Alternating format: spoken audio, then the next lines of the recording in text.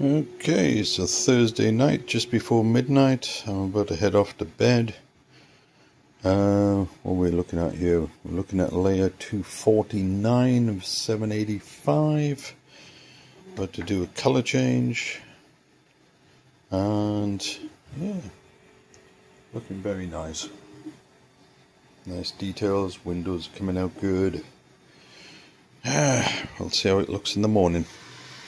Uh, Friday night, just about to head to bed, and we're up to layer 403, uh, 81.79% complete, and everything went good apart from had a stoppage, red filament broke in the tube when it was supposed to retract, um, so it didn't retract properly, so I had to clear the tube, um, rethread the red filament, and off it went again. So all looking good. Uh, we'll see where we are in the morning. Oh, getting closer to the end. Layer 598. Uh, 96.51% complete. Uh, getting close. So I'm going to head off to bed and this should be done in the morning. Um, so since the last update, what's happened? Um, as well as printing, I've had two filament changes. The silver ran out, I replaced that. The black ran out, I replaced that. Since the silver ran out, uh, did have two stoppages. wasn't filament breakages, it just kept reporting that there was an issue feeding. And I think it's the cardboard roll. Um, yeah, cardboard rolls really are rubbish. They're big, thick and heavy. They tend to get a bit bent in the packaging. Uh, it wasn't rolling right. Um, so I didn't have to do anything other than just start it going again. Um, so yeah, I think it's the cardboard that just doesn't go down well with these Ace machines. Um, I did also have two filament breakages in the Ace. Two filaments that weren't being used. They just broke in the holes uh, and came out. Uh, refed them um, when I was doing the uh, filament changes, and everything's good. But I think that's just a sign of how certain filaments are brittle and will break regardless. And an example of that is this one here. So on the Elegoo, uh, it's a single color printer. Uh, it was printing white, did everything fine, and then this was sitting idle for a couple of days and you can see that this filament broke twice just sitting on the printer.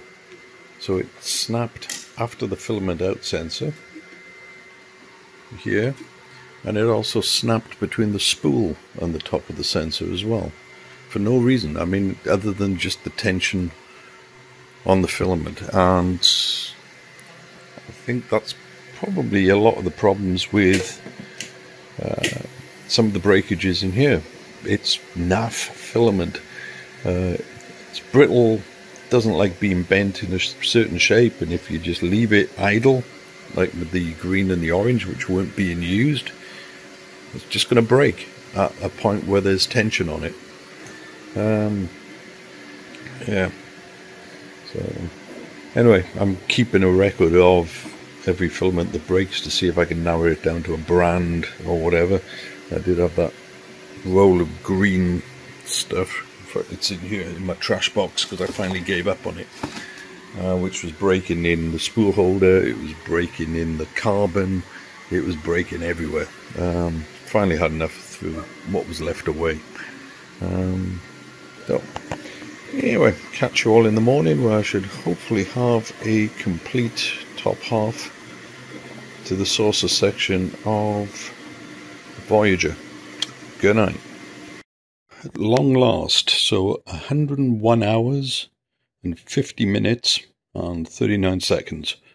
So that's the top of uh, the Voyager. Um, I do feel some layer lines on this.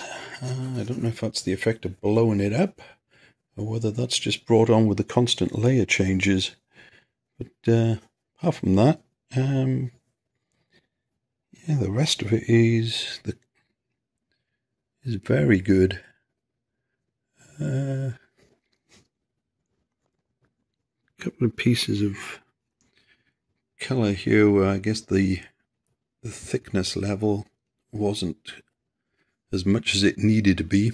I can get a yellow paintbrush in there and uh, add a bit of paint in those marks. Um, but apart from that, that has that's come out really good, and that will save uh, an awful lot of painting. So because now I'm going to do the there's pieces to go in here, in here, in here, nameplates to go in there, more bits to go in here. So I've got to print all those out and start slotting them in. And of course, one large under section to that before I even move on to the back of the uh, spacecraft. But uh, yeah, quite interesting. Uh, this is a brim here, so if you're wondering about that, that's the actual edge of the that's the actual edge of the ship there. So I've got to peel this brim off and sand that up to the edge. Uh, yeah, not bad at all. Uh, the grey started behaving correctly after a while. I did adjust the tubes in here to straighten them up. It, like I say, it wasn't breaking, but it was something was going on with the either the retraction of the feed. Um, but once I got those tubes more vertical again, uh, it stopped. Either that or it just lost enough filament off the reel to make it light enough where it was spinning properly. But really don't like these cardboard spools. All right, well, let's go and see what I can do next. So, having taken the brim off, I just thought I'd give you a quick look just to show you how solid this thing is. There's the the underside. I think I could have done it with a little less infill. Um, but uh, yeah, it's not going to be bad this thing. So just going to get on with the other pieces. I've got a couple of things I need to run off on the printer before I start on any more and then I'll continue with the Voyager